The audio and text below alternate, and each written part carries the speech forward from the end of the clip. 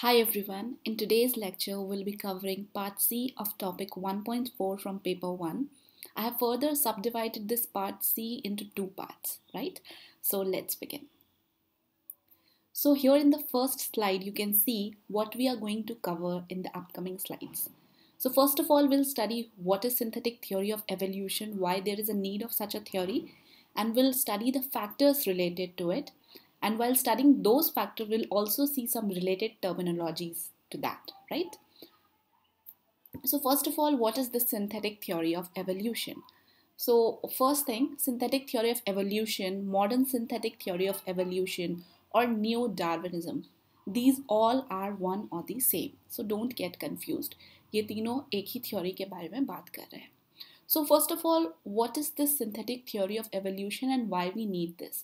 As we already studied about various theories in our previous lectures, we know that scientists or biologists were not uh, at one point of view regarding the process of evolution.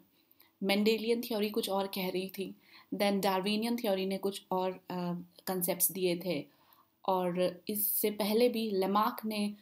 Use and disuse और acquired characteristics के बारे में बात की थी, जो कि reject कर दी गई थी। That means all the scientist were not agreeing at one point right so there were further studies and experiments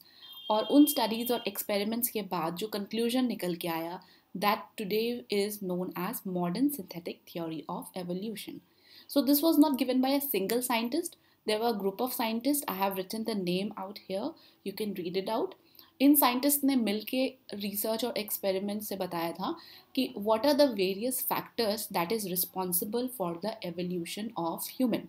because हमारा जो पूरा पर्पस है सिंथेटिक थ्योरी ऑफ़ एवोल्यूशन को पढ़ने का चाहे वो डार्विनिज्म uh, थ्योरी को पढ़ने का या लेमार्क की थ्योरी या मेंडल की थ्योरी इन सभी को पढ़ने का एक पर्पस है to understand how human evolution took place right? You remember Hugo de Vries ने भी एक थ्योरी ऑफ़ म्यूटेशन दी थी। उनकी स्टडी कुछ और कह रही थी। वेल एज डार्विन की थ्योरी ये कह रही थी, जो इनहेरिटेंस होता है that is through natural selection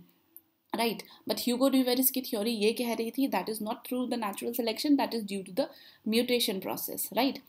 तो इन सबको इकट्ठा करके ये थ्योरी बना दी गई है। तो in this slide I have included what I have set till now you can see कि इनको फ्लो चार्ट्स में आप देख सकते हैं तो आपके दिमाग में अच्छे से बैठ जाएगा because I know all these physical anthropology के जो टॉपिक्स हैं many of us don't feel comfortable with these topic but don't worry about that i hope after the end of this lecture you'll be able to comprehend this topic in a much better way so now we'll see the factors of modern synthetic theory of evolution the very first factor is recombination और variation basically और कुछ नहीं है, ये random mixing of chromosomes की बात कर रहे हैं। We all know that how we inherit some of the chromosomes from our father and some from our mothers that result in various traits and other characteristics in us right and to understand this better, because it talked about some process called meiosis LLE so I'm sure कि आप में से कुछ लोगों को पता नहीं होगा, हम LLE किसे कहते हैं और मायोसिस क्या होता है? So that is why have included a slide out here इसमें आपको differences between allele and genes की बात कर रहे हैं। तो जीन्स क्या है? Genes are the hereditary information right allele भी वही करते हैं but the only difference is कि जब किसी जीन की दो कॉपीज़ बन जाती हैं और वो दोनों आपस में आइडेंटिकल नहीं होती है that is known as allele right और मीटोसिस और मायोसिस के बीच में क्या डिफरेंस है? और if you want to go further in detail you can refer your ninth standard biology book you will be get to know it better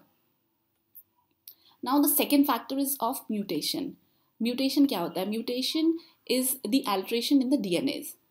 in simple words it's the, it's the alteration in the dna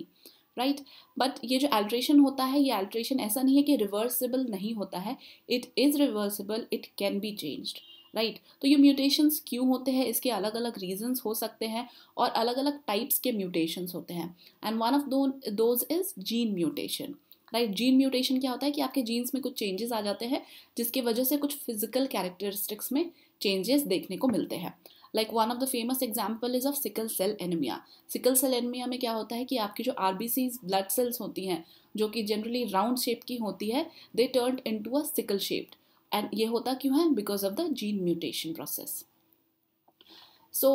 another example that I found out was of muscle hypertrophy. Muscle hypertrophy uh, एक ऐसे type का gene mutation होता है एक ऐसी condition को कहते हैं जिसमें कि जीन म्यूटेशन की वजह से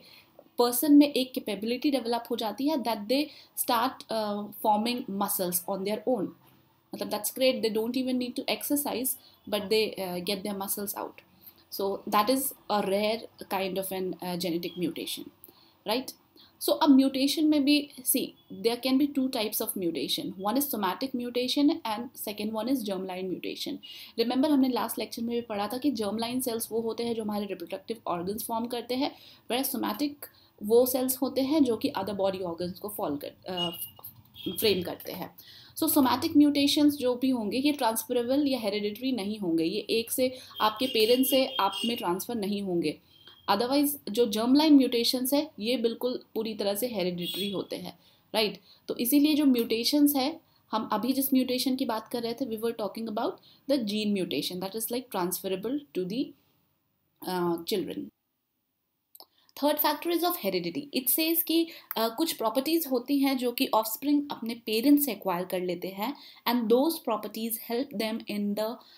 struggle for existence remember हमने डार्विन uh, की थ्योरी और लिमाक की थ्योरी में जब डिफ्रेंसिएशन uh, किया था then uh, we studied ki how some giraffe in case of uh, darwin were already having long neck and because of that long neck they were able to reach to the tree leaves very easily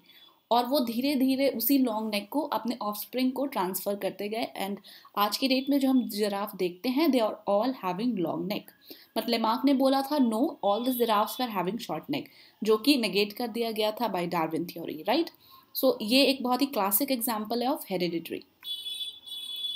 Now, the fourth factor in the modern synthetic theory of evolution is of natural selection. Of course, this is the na same natural selection that Darwin talked about. उन्होंने बताया था how uh, because of the change in frequency of gene from one generation to other कुछ एक uh, processes होते हैं जो कि आपके uh, favor में काम करते हैं there is an example of peppered moth ये पेपर्ड मॉथ ग्रेट ब्रिटेन में पाए जाते हैं और ये जो एग्ज़ाम्पल है this is of the era when industrial revolution just begin in Britain. तो साइंटिस्ट का ये मानना था कि जो ये पेपर्ड मॉथ हैं they were of some light colour as you can see in the left और आफ्टर द इंडस्ट्रियल रेवोल्यूशन जब बहुत ज़्यादा पल्यूशन बढ़ गया then they have acquired some kind of an darker shade ये इस वजह से हुआ क्योंकि जो लाइटर शेड की बटरफ्लाइज थी they use to sit on the tree barks और वो ट्री बार्क्स के साथ मैच uh, नहीं कर पा रही थी। Once the tree bark started getting darker because of the pollution due to the industrial pollution so eventually they acquired the darker shades to save them from their predators और इसी वजह से धीरे धीरे जो ये लाइट कलर्ड पेपर्ड मॉथ थे ये डिसअपियर uh, हो गए and now what we see is of the darker pepper moth right another example is of antibiotic resistance antibiotic resistance में केस में ये बात की गई है that how it favour natural selection we will see अगर कोई बैक्टीरियल ग्रोथ होता है we take some antibiotic to kill those bacterias right वो बैक्टीरियाज धीरे धीरे करके बिकॉज़ ऑफ़ दैट एंटीबायोटिक के असर से वो मर जाते हैं. But what if in another case कि आपने कुछ एंटीबायोटिक उस बैक्टीरिया को खाने के लिए ली है but that bacteria mutate and it acquire some X Y Z characteristics और वो वो बैक्टीरिया नहीं है जिसके लिए आपने एंटीबायोटिक ली थी, उसने एक न्यू फॉर्म एक्वायर कर लिया है। तो your antibiotic that was suppose to kill the bacteria in the original form will not be able to kill the bacteria that mutated, right? So, इसके वजह से क्या होगा? जो म्यूटेटेड बैक्टीरिया होगा they will further divide and they will form their population of their own जो कि बिल्कुल जो पहले वाले बैक्टीरिया है उससे बिल्कुल अलग होगा right so the fifth factor is of isolation isolation कैसे स्पीसीज uh, को इवॉल्व होने में हेल्प करता है? सो so, ये आप समझ सकते हैं by the word itself that isolation means एक वो कोई फ़िज़िकल बेरियर की वजह से geographical barrier psychic barrier they can be any kind of an barrier because of which the species get separated and they reproduce in their own domain and that is how they acquire different characteristics so there is an example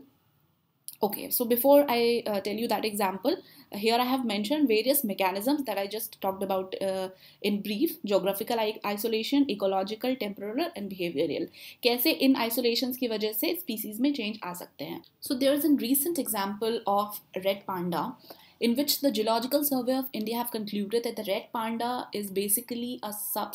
it has basically uh, two subspecies and that is the himalayan red panda and the chinese red panda right सो ये क्यों हुआ है? This is because of the geographical isolation due to the Siang river so आप यहाँ पे देख सकते हैं, जो लेफ़्ट हैंड साइड वाला है that is a Chinese red panda and जो राइट हैंड साइड वाला है that is an Himalayan red panda although they look very similar to each other but their genetic makeup is different and that is what scientist have concluded this year right तो till 2020 it was considered to be a monotypic species मतलब दोनों को एक ही species की category में रखा जाता था but from now onwards they will be classified as two different species right now we will see various factors related to the human evolution other than the factors that we studied till now right so the first factor here is of gene flow or migration basically gene flow or migration यहाँ पे कुछ और नहीं है ये इसकी बात कर रहा है कि when a population of a certain species mate with the other population that is different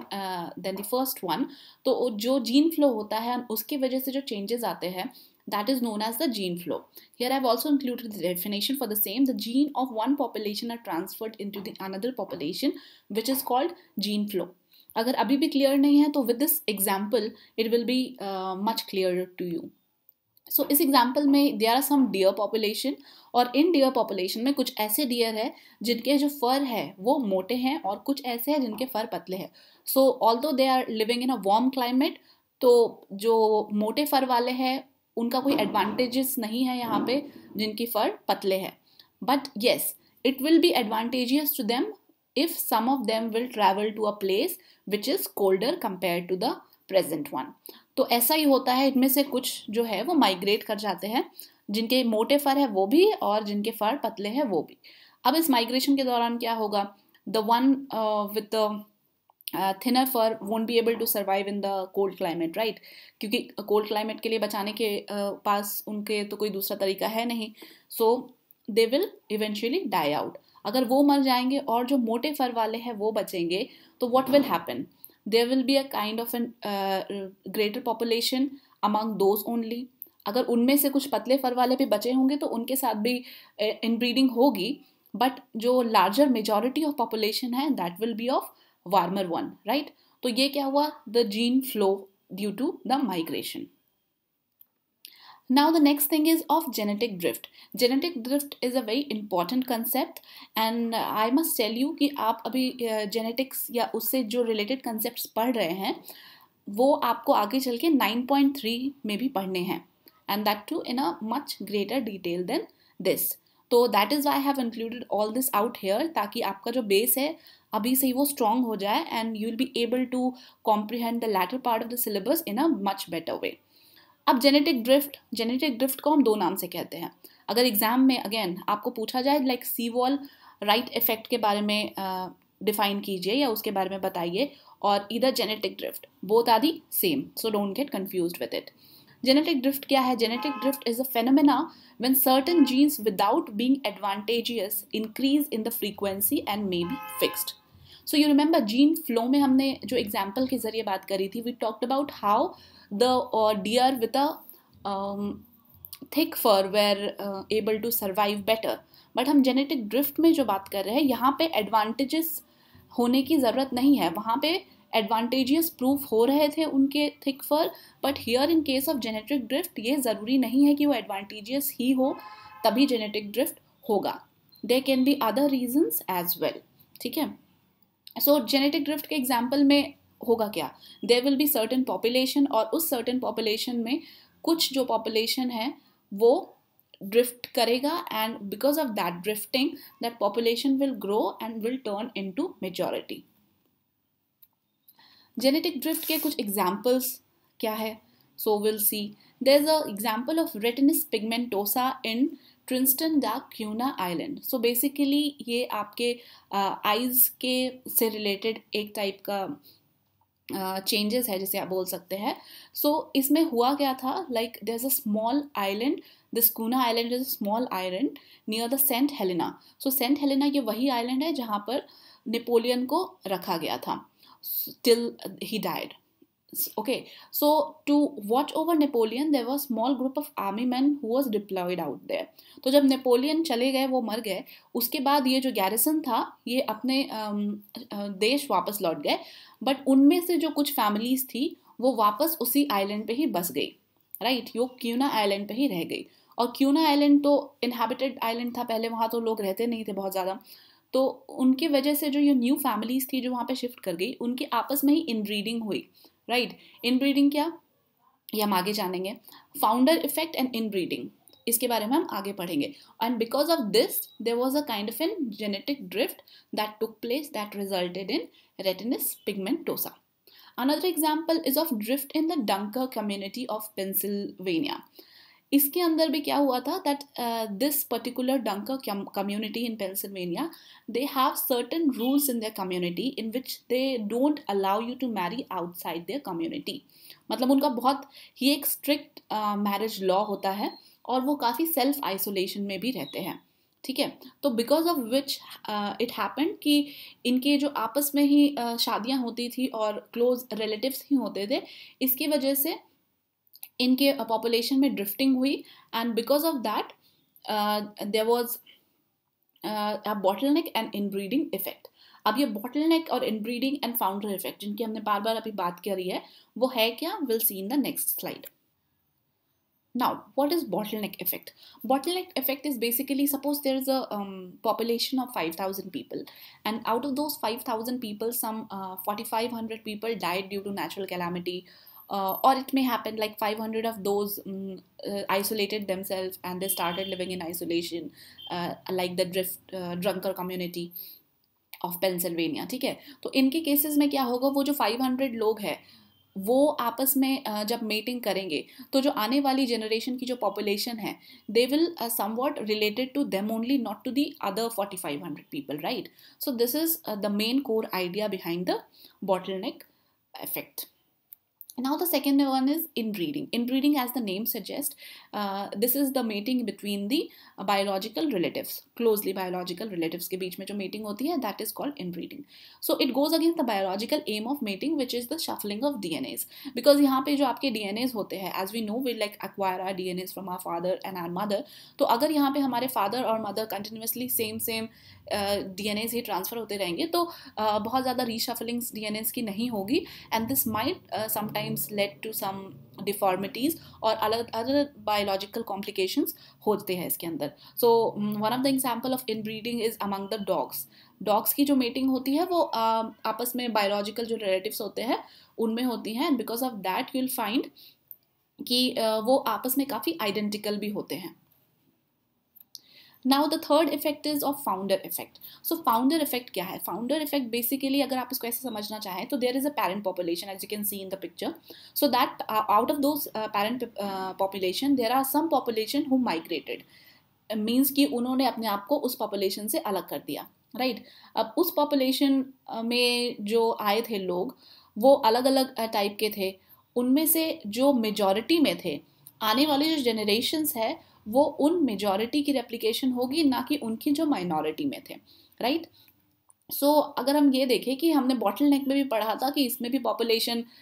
isolation में रहती है या पॉपुलेशन कम हो जाती है बट बॉटल नेक और फाउंडर में जो मेन डिफरेंस है वो डिफरेंस ये है कि in case of bottle neck the population size is reduced for at least one generation but in case of founder when a new colony is started by a few member of the original population right तो इसमें original population भी exist करती है but एक new colony establish हो जाती है because of the migrating population